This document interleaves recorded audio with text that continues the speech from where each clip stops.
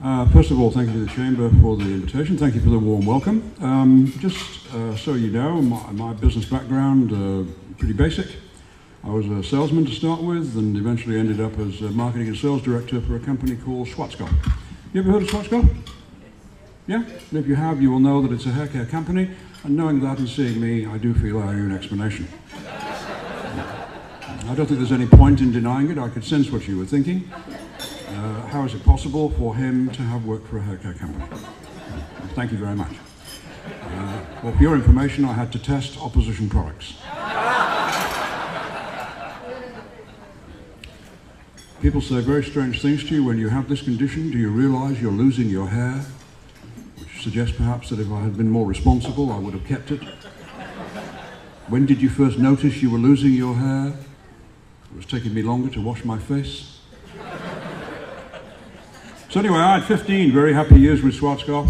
And uh, so I'm in the area of sales and marketing, the most, in my view, the most trivialized area of uh, business.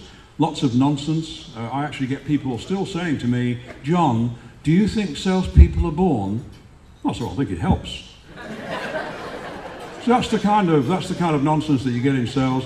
We also have stuff like features and benefits, which is the opposite to what customers are interested in. Customers are interested in benefits. And then if you seduce them with the benefit, then they're naturally interested to hear about how do you do it, the feature and what have you. So unfortunately, we've got it the wrong way around. Salespeople today, to this day, still being taught that nonsense, uh, how to handle objections when the true challenge for anyone in sales is how to anticipate objections. How long do you have to be in business before it dawns on you that customers worry about various things? Whether they say anything about it doesn't matter.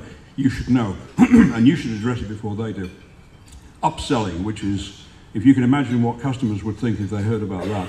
Upserving is what leading organizations do. In other words, selling fits into their service edict, if you like. They don't go around. Uh, and another one, of course, which affects every industry and every profession, knowledge is, yeah, never has been, never will be. Giving knowledge is power. Uh, knowledge does not belong to us, it belongs to those we serve. And the moment you decide that you must give that knowledge, then you've got to figure out how to give it and so forth and so on. So my brief um, uh, message today is about two gaps in business. I've got you know stuff to give you later on on the table over there which explains in more detail. There are two gaps in business. Um, the first market gap is called access to product or services. It's absolutely full to overflowing.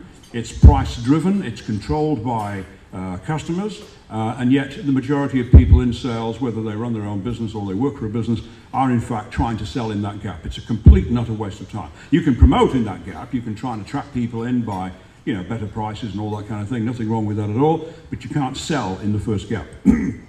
second gap is not access to product, but success with uh, product.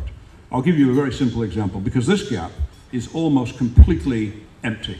So let me give you an example. There's a product in our society called superannuation, very, very important product. Uh, how many people have got it? Everyone, because for 20 years it's been compulsory, yes?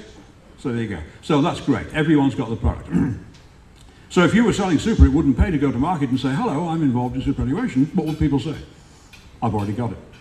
But then if you ask another question, and that's what leading organizations do, always asking good quality questions, how many people have an appropriate amount of superannuation so that when they enter the extended period of retirement, they'll have the funds they need to live the life they would like to lead? Answer, very few people. Not talking about losers, I'm talking about mainstream Australia. The facts of life are that although people have the product, they don't have what they should have. How could that possibly, how could that possibly have happened? Isn't having enough super more important than simply having super? So the second gap is absolutely massive. It is largely unattended to by most suppliers. They don't know how to measure it. They don't know it exists, but it does exist. The first gap is populated by customers. The second gap is populated by people. Customers are people. They do not go home at night to customer land. Always treat customers as people, never treat people as customers. Customers will tell you what they want or what they don't want. People cannot tell you what it is that they need. Is there a difference between what customers need versus what they want? Of course there is. Of course there is. And customers know nothing about the need factor. So that's where selling comes in. The ability on the one hand to listen and on the other hand to lead uh, customers. Not to interfere with what they've done in the past. Don't interfere with what they've done. Uh, tell them about the future and try and help them. That's what selling in the second gap is all about. I'd like to give you a very brief example, if I may. Many years ago, because I've lived in the, in the Hill Shire for donkey's years, Uh, we, uh, we, have, uh, three, we have three children, uh, all girls except for two. And um, so when we were living over in Roxburgh Park, when we first arrived in the Hills District, and uh, we, we had a pool put in for our children, and uh, they made a terrible mess of our garden. It was a year before we could afford any landscaping. I called in three guys to give me quotes. The first two guys came in, very nice guys, separately. Yes, Mr. Lees, what do you want? First gap. And I knew what I wanted. How did I know? Because my wife had told me. anyway, I said we want bush rock, uh, paving, uh, shrubs. Uh, how much do you want to spend, Mr. Lees? Like as if I had a budget, but I gave them a figure and that was the end of that. They then quoted me on exactly what I, the potential customer, said I wanted. Bush rock, pavers, shrubs, at the price nominated. Any complaint? None at all. Did they get the business? No. Why? Because the third man, who was very quiet, very quiet, there's an interesting paradox for you. Apparently, in business, you have to have a winning personality and be noisy. The most successful women and men I've met in selling are very quiet people. What's noisy about them, if anything, is the value of their proposition and their ability to present it. So the third guy didn't say, What do you want? He said, So tell me, what did you have in mind? Uh, and I said to him, Well, we were thinking about bushrock and paving and shrubs. He said, That sounds very nice. Approximately, how much did you have in mind to spend? I told him. He said, Okay. He then took notes, took measurements, asked my wife and I questions. How often did we entertain? How did we entertain? He went away, came back, gave me two quotes. First quote was for what I said I wanted, first gap, bushrock, paving, shrubs, etc., at the price nominated. Second quote, and by the way, he gave me a small uh, thumbnail sketch of each uh, quote as well, uh, talking is silver, showing is gold.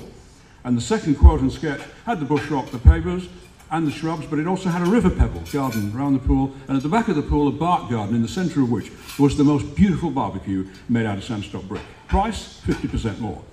I wonder if you can imagine which one we bought, especially as Mrs. Lees was present at the time.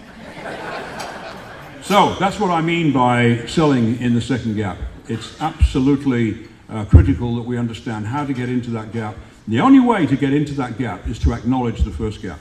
So if you want to do business with anyone, just simply say to them, I do, I have, uh, take it you've already got this kind of product or service. I'm not here to interfere with anything that you've done in the past. Don't sell change to people, sell progress. Okay, that's what people need, progress. And by the way, they can't have progress without change. So that's what we have to do in business. Uh, the, the definition of winning which is known to all athletes but not to many business people, is progress through struggle. Business is not supposed to be easy. If it ever falls into your lap, well, be grateful but be suspicious because it's not supposed to be like that. The best way to run a business is to figure out where is the second gap, learn how to specialize in that area, and you will separate yourselves from the competition. Thank you very much indeed.